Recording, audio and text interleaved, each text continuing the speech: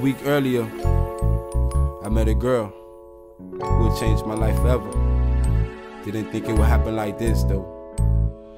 I was talking to a lady friend when it all started. Told her, hold up, I'ma take a second, taking out the garbage. She say, alright, I like her accent, she from the islands. I can't explain how she make me feel when I see her smiling. Then my phone rang. Shit changed from the threatening phone calls. I'm not worried about it at all. But I should have been, I was too ready trying to get it in. Cause I wanted her to be more than a friend. So I asked her, did she have a man? She responded, not right now. I'm asking her how. You beautiful, you know what I would do to you. She said, what? Take me to the bed, give me some head. I say, girl, stop playing. Why you acting like you grand? You should see how she was stand. Just as sexy as she wanna be. She playing, she coming home with me. She smiling, conversation good. I'm doing just what I should. I'ma try to beat it if I could. Uh-huh. But it's something on my mind. It's the phone call from earlier. Yeah. They say you better keep it girl, you can't protect her when Damn. she's all alone. I ain't told her what they told me when I got up off the phone. Guess, Guess I, wasn't thinking all that shit just wasn't sinking. Didn't think that it was real. But I continued to chill until she left and went home. I told her holla at me later whenever she's by the phone. Never got a call, so I'm worried. Driving to a house in the city, I'm in a hurry. Police pulled me over, talking about I'm driving like I wasn't sober.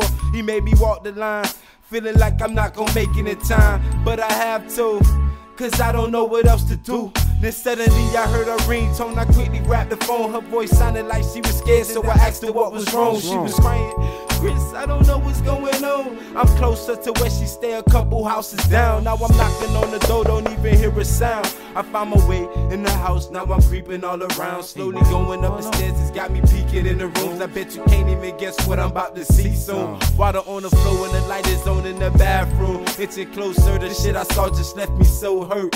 She was quiet, I called the name, she wasn't getting up. What could have just happened? Thinking, what the fuck? Now I'm looking towards the other room, I think I heard a noise. It didn't sound like it was a boy. I think I heard bracelets. Don't wanna leave, I have to face this.